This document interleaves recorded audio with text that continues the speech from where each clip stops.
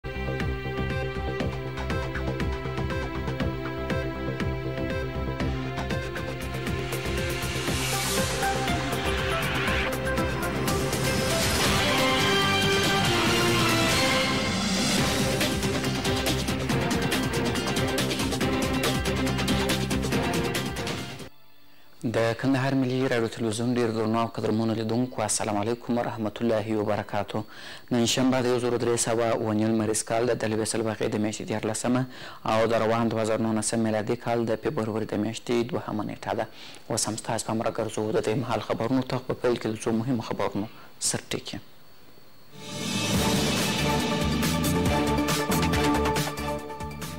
د کندهار په میوند ولسوالۍ کې د یوه شهید سوي سرتیر د میرمنې سره نقدي مرسته وسوه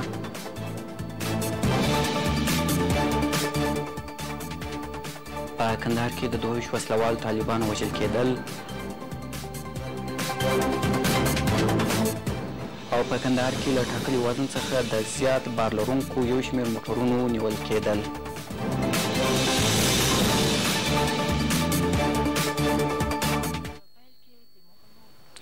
اوس هم بشپړ خبرونه ویا نورعلي صدیقي بسم الله الرحمن الرحیم د کندهار په میوند ولسوالۍ کې د یوه شهید سوي سرتېري د مېرمنې سره نقدي مرسته وسوه.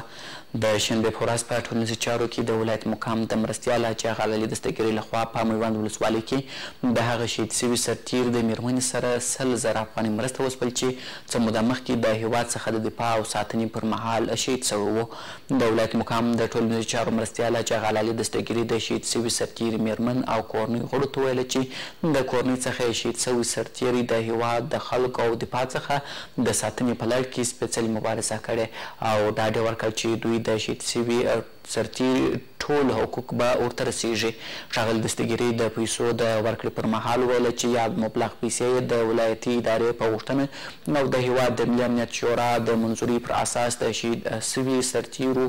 مېرمن او ماشوم ته وسپارلې او د ټولو شهیدانو شوو سرتېرو کورنیو او وارثینو ته یې ډاډ ورکړ چې ولایتي اداره او حکومت به د دوی ټول حقوق پر وخت او په شفافه توګه ورته تسلیموي. کندهار کې دوه ویشت وسله وال طالبان وژل شوي دي. په کندهار کې د ملي اردو په عملیاتو کې دوه ویشت وسله وال طالبان وژل شوي او یو شمېر نور ژوبل شوي دي. په عملیاتو کې د وسله والو طالبانو یو شمېر وسلې او مهمات هم له منځه وړل شوي دي. نور حال د روزالدین ایازي په چمتو شوي راپور کې. کندهار کې د دوه سوه پنځم اتل قولي اردو خبر ورکوي چې ځواکونو یې په تېرو څلور ویشت ساعتونو کې د وسله والو طالبانو پر پټنځایونو باندې د ترسره کړو عملیاتو په ترڅ کې پنځه ویشت وسله والو طالبانو ته مرګ ژوبله اړولې ده.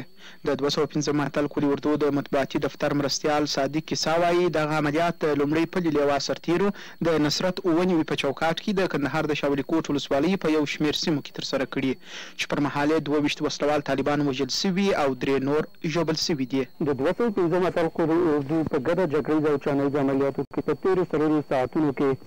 د کندهار ولایت د شاولي کوت ولسوالۍ په ساحو کې د اتل دري دېرش د نصرت په چوکات کې عملیات ترسره سوه. په دغه عملیاتو په درځ کې دوه ویشت تنه وسله وال ترهګر وژل شوي دي او درې تنه ټپیان شوي دي. بل خوا بیا د څلورمې پلې لېوا قومندانۍ په اروزګان ولایت کې د یوه کشفي راپور پر اساس د طالبانو پر یوه مرکز هوایي برید کړی چې په ترڅ کې یې څلور وسلوال طالبان وژل شوي دي. د دوه سوه پنځم اتل کلي اردو مرستیال ویاند وايي چې ددې ترڅنګ د ملي اردو د دوهمې پلې لېوا ځواکونو بیا د زابل ولایت په ارغنداب ولسوالۍ کې عملیات کړي او دوه وسلوال طالبان یې وژلي دي. د دوه سوه پنځم اتل کلي اردو د څلورمې پلې لېوا د کشفي استخباراتي راپورونو پر اساس د ترینکوت په ساحه کې هوایي برید شوی دی، په ترڅ کې څلور تنه وسله وال ترهګر وژل شوي دي. همدارنګه د دوه سوه پنځم اتل قول اردو د دوهمې پلې لواء قومنداني د عملیاتو په ترڅ کې د زابل ولایت د ارغنداب ولسوالۍ کې دوه تنه وسله وال ترهګر وژلي دي او څلور تنه ټپیان شوي دي. په دې عملیاتو کې د دښمن مهمات، اسلحې او انفجاري مواد هم له منځه تللي دي. د ملي اردو په عملیاتو کې وسله والو طالبانو ته دا مرګ ژوبله داسې مهال اوړي چې د پنجشنبې په ورځ د ملي دفاع وزیر کندهار ته سفر وکړ او په دوه سوه پنځم اتل قود اردو کې یې نظامي ځواکونو ته د وسله والو طالبانو د ځپلو اړوند یو لړ خاص سپارښتنې وکړې. په کندهار کې له ټاکلي وزن څخه د زیات بار لرونکي یو شمېر موټرونه نیول شوي دي. دا چې د ولایتي ادارې په هڅو د څه مودې راهیسې په کندهار کې له ټاکلي وزن څخه د زیات بار لرونکو موټرونو پر تاګ راتاګ بندیز لکول شوی و، نو په تیرو څو ورځو کې یو شمېر هغه موټرونه چې له ټاکلي اندازې څخه زیات بېلابېل بارونه پکښې اچول شوي و، نیول شوي او په ټاکلي ځای کې توقف شوي دي. د یادونې وړ ده چې په کندهار کې د دغه موټرونو شمېر د تېر په پرتله کم شوی، لا هم په دغه برخه کې د ولایتي ادارې له خوا هڅې روان دي تر څو په بشپړ ډول یې مخه نیوی وکړي. په کندهارښار کې یو شمېر نابینایان غوښتنه کوي چې ستونزو ته دې پاملرنه وشي. دا مهال په کندهارښار کې تر شپږ سوه زیات نابینایان د ښار په بېلابېلو برخو کې ژوند کوي، خو د ژوندانه هېڅ ډول اسانتیاوې ورته نه دي برابرې شوې.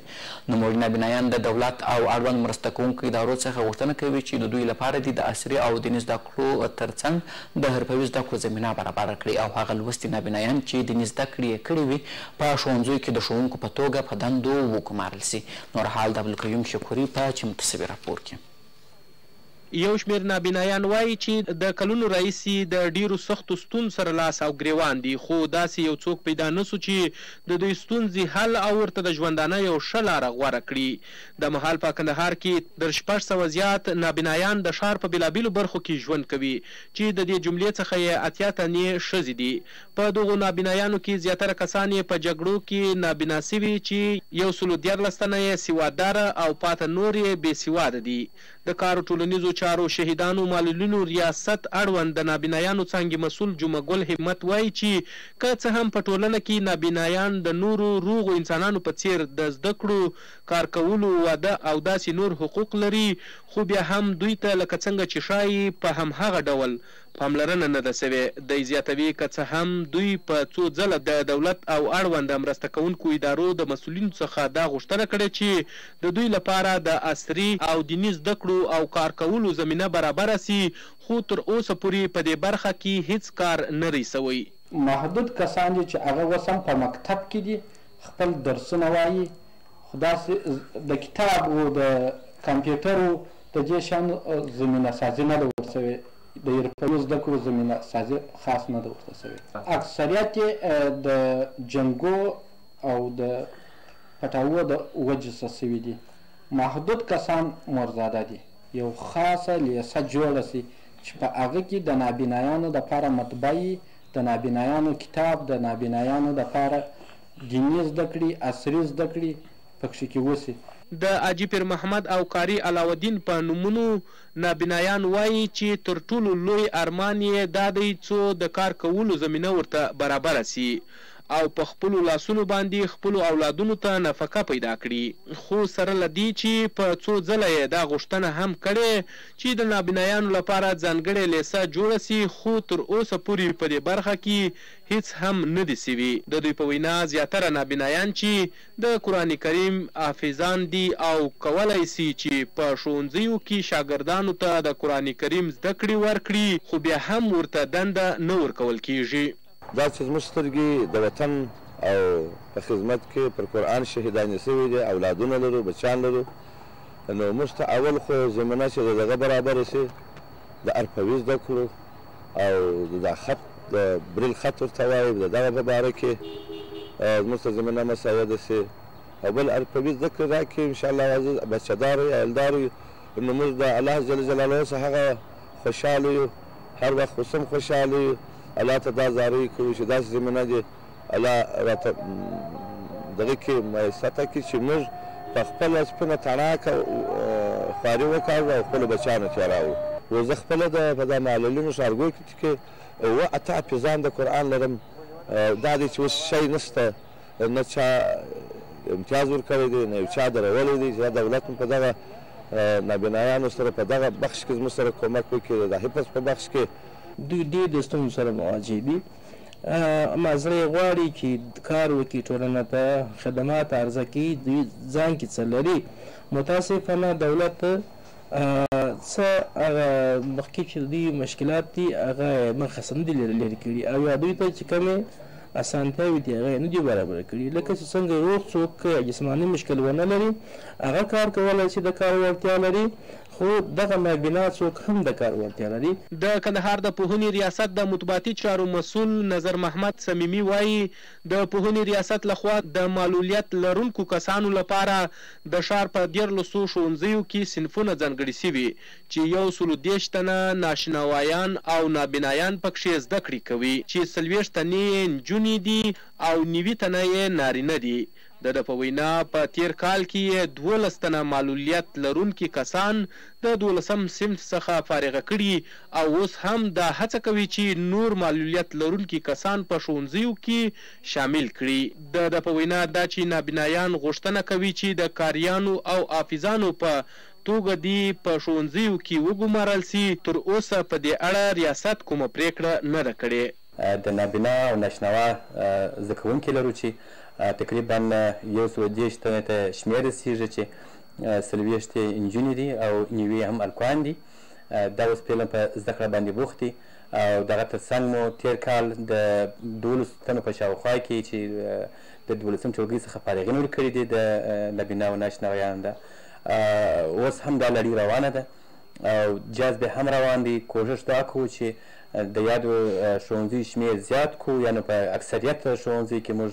وکولای شو چې نابینا او ناشناوا زده کوونکي جذب کړو. د یادونې وړ ده چې نابینایان په ټولنه کې نه یوازې د کار کولو، زده کړو د ستر نعمت څخه بې برخې پاتې دي، بلکې د واده کولو لپاره هم څوک ورته ښځه نه ورکوي او ډېری کسان یې په نورو نومونو بولي چې له دې سببه هره ورځ ستونزې ګالي. د هلمند په ناوې او ګرمسیر ولسوالیو کې د افغانانو په مالکیت د سولې او امنیتي ځواکونو په ملاتړ غونډې وشوې. په دې غونډو کې دیني عالمانو او قومي مشرانو پر وسله والو طالبانو غږ وکړ چې له افغان دولت سره د سولې خبرې پیل کړي. د ګرمسیر قومي مشرانو بیا وویل، موږ داسې سوله نه غواړو چې د پاکستان ګټې خوندي وي او افغانان د یو بلي جګړې په لمن کې غورځول کیږي. نور حال د عبدالرحیم مطمئن په چمتو شوي راپور کې.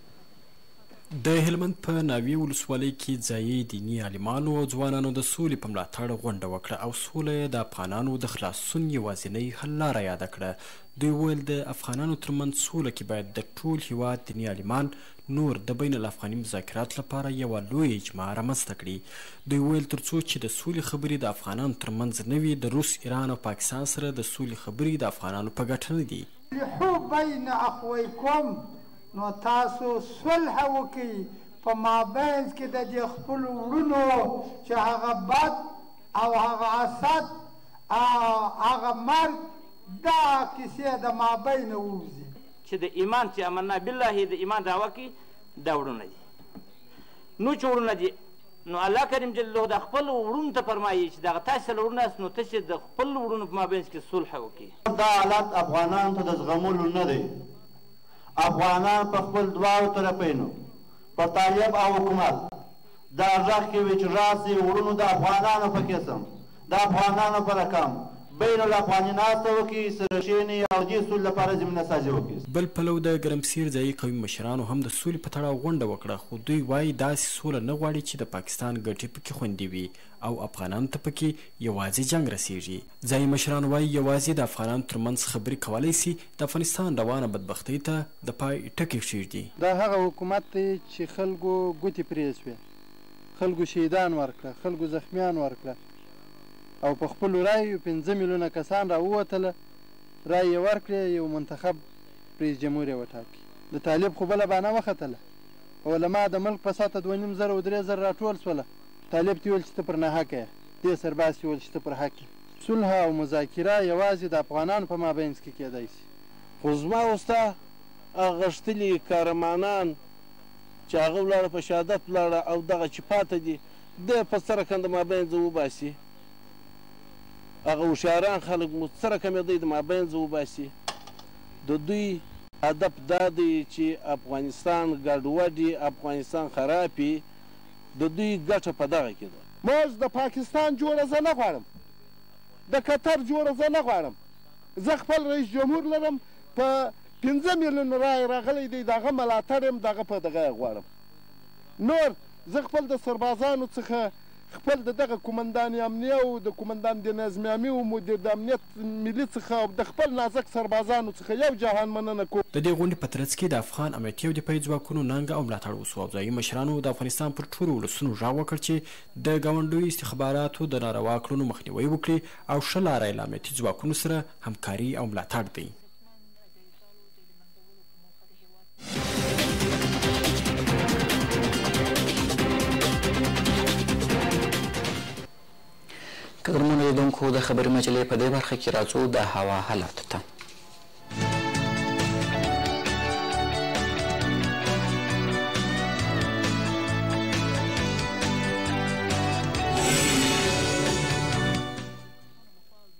ګران دوستانو وخت مو پخیر ستاسو پام راړوم د یکشنبې د ورځې د هوا حالات ته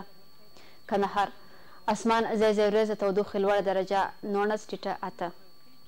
هلمند اسمان ځای ځای ورېځ د تودوخې لوړه درجه څلورویشت ټیټه دوولس ارزګان واوره او باران د تودوخې لوړه درجه اته ټیټه یو زابل اسمان ځای ځای ورېځ د تودوخې لوړه درجه نهه ټیټه منفي یو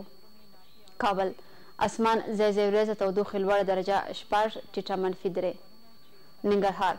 اسمان ځای ځای وریځ تودوخې لوړه درجه، اوولس، ټیټه پنځه.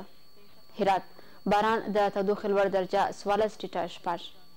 او مزار شریف، اسمان وریځ تودوخې لوړه درجه، پنځلس، ټیټه اووه.